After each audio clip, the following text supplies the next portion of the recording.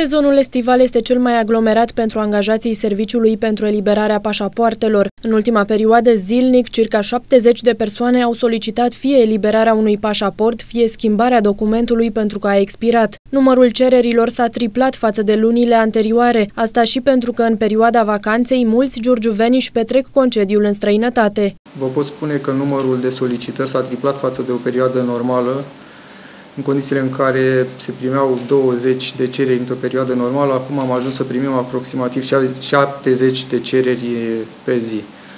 Sunt uh, foarte multe solicitări pentru pașapoarte temporare, cât și pentru electronice. Pot spune, ieri am avut, spre exemplu, 35 de solicitări pentru pașapoarte electronice și au fost soluționate toate în aceea zi, iar pentru pașapoartele electronice sunt uh, Uh, situații în care cetățeanul poate să le ridice de la sediul serviciului, dar și de la domiciliu în situația în care acesta dorește să fie trimis pașaportul direct la domiciliu. Totodată, conducerea serviciului pentru eliberarea pașapoartelor constată o creștere a numărului de solicitări pentru eliberarea pașaportului în primul semestru al acestui an. Față de aceeași perioadă a anului 2014, au crescut numărul de solicitări cu aproximativ 600 de cereri. Deci este într-adevăr o creștere semnificativă a numărului de solicitări pentru pașapoarte.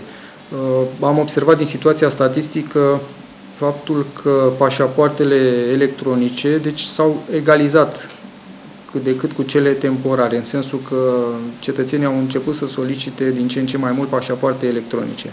De la începutul lunii iulie, 10 giurgiuveni au fost întorși de la punctul de trecere a frontierei pentru că nu au avut documentele necesare, aici fiind vorba despre certificatul de naștere sau buletinele vechi. În condițiile acelea, cetățenii au fost îndrumați către serviciul de pașapoarte și li s-au eliberat pașapoarte temporare pentru a-și putea continua călătoria. Contravaloarea pașaportului temporar, care are o valabilitate de 12 luni, este de 222 de lei. Documentul de călătorie electronic se eliberează contra unei sume de 292 de lei și este valabil 5 ani, iar pentru minorii cu vârsta până în 12 ani, pașaportul este valabil 3 ani pentru care se achită 262 de lei.